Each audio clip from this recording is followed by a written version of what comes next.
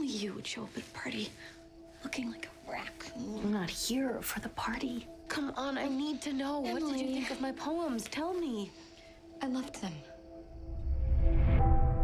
I always love your poems. But I can't be your only reader anymore. you need to share your writing with the world. There's someone that I need you to meet. Sam Bowles. This could be the man to put you in the spotlight. I'm always interested in hearing a new voice. What if I don't want fame?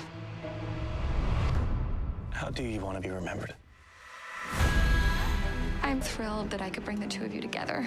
Feels like destiny. It is so crazy. Sue is an influencer. I don't want to disappear from this earth without anybody knowing who I am. Does anybody else have any intentions? I want to find out if I'm allergic to anything. Sometimes when I write, I lose control. You're about to become world famous overnight.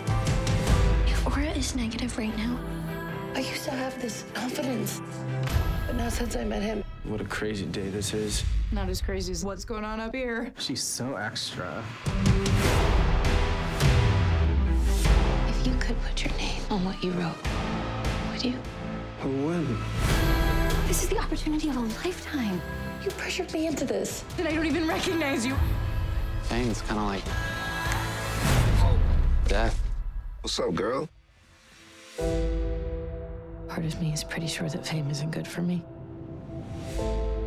In fact, I think it could be very dangerous. Whoa,